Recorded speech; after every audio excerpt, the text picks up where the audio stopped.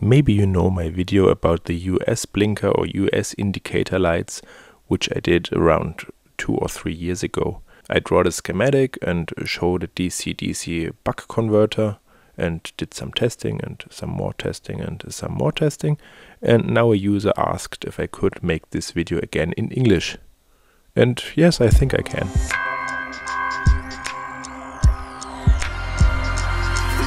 But let's do this a bit more professional. I put my pen away and draw the schematic again with my, what's the name of the software? Profi CAD software. This is freeware by the way. I have two versions of this.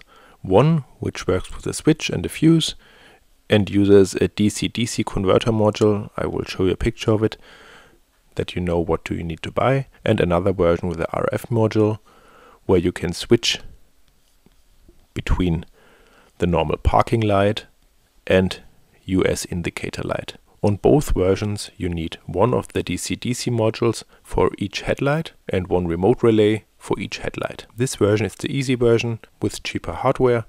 A DC-DC buck converter costs around 2 euro or around 2 US dollars or maybe 3 and the remote relay costs around 5. So how does this work? This is the contact in your headlight which comes from your blinker relays. It goes to indicator lamp and then it goes to ground. In this case we need a 4 amp diode or more than 4 amps. So a diode which can handle at least 4 amps. Cut this line and put it between it. This is necessary because if the DC-DC converter puts around 6 volts here to make your indicator lamp lit up, this diode should protect the other hardware behind it from lighting up your indicators on your rear lights, for example. Then you need a 12 volt line, for example, the battery plus or your ignition plus, and a fuse. I recommend to use a 5 amp fuse for each headlight or a 10 amp fuse for both. Fuses are cheap, so please use them because if you have a problem here and a short circuit somewhere, your car could be set on fire. Then you need a switch which can handle around 10 amps and connect it behind the fuse. From the switch you go to the DC-DC module. There's a potentiometer on the DC-DC module where you can set the output voltage. You get input voltage of around 12 volts and the output voltage at, for example, 6 volts. You can adjust that later if you want to have the indicator lamp glow brighter or dim. Here you see the input ground connection is not connected because the output ground connection and the input ground connection are the same. They are connected inside the DC-DC module and the out is connected to ground. You could also connect the into ground, which would be the same result. From the output, you go to your indicator lamp after your diode. If you go from the out before your diode, your backlights would also light up and would draw also too much current for this module, which is not a good idea. If you want your rear indicator lamps also to light up, I would recommend to use a better DC-DC module which could draw more amps and you could remove this diode and also it would be a good idea to mount this inside the interior of your vehicle and not inside the headlight. That's all for this easy version. You could build this for under 10 bucks. Now let's go on with the more complex version with the remote control. For the remote control version, you also need this diode for each headlight, you need this DC-DC module for each headlight, and you need this remote relay for each headlight. I will show you a picture how this remote relay could look. In this case, we get our power from the parking light and not from an extra 12 volt line. Our parking light has a fuse, so we don't need an extra fuse here. If you want, you can put one here, but it's not necessary. But you know, fuses are cheap, so put fuses everywhere. We cut the line from the parking light and connect it to our 12 volt input on the remote relay and to our input or COM from the relay itself. From ground we go to ground. This is just an extra ground because it's easier to understand.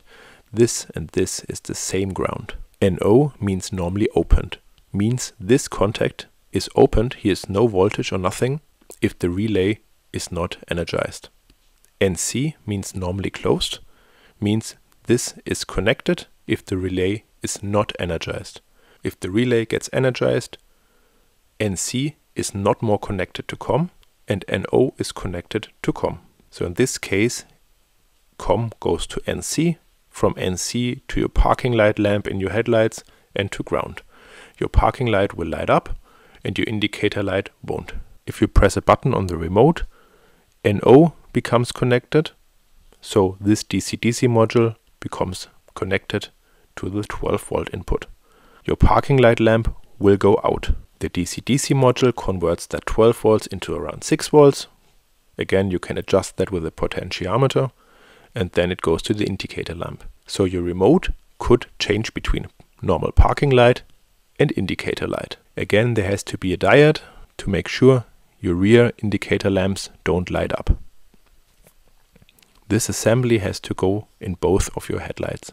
So two DC-DC modules and two remote relays. In this case, your parking light lamp goes out if you press the button on the remote and your indicator lamp becomes lit. But what if you want your parking light to always stay on and the relay just to switch the indicator lamp on or off? That's easy. Then don't cut this line to the parking light, just connect the COM and the 12 volt line to it. You do not have to connect anything to NC because this line goes here and the relay just switches COM to normally open or to nothing because NC is not connected. A standard indicator lamp draws around 21 watts. With this DC-DC module on around 6 volt it draws less than 1 amp. This is okay for the parking light fuse, so you don't have to do extra wiring from the parking light switch. Do never change a fuse to a higher one if the wiring is not designed for that. I hope everything is clear and you're ready to build this module. If you have any questions, feel free to ask them in the comments. Thank you for watching.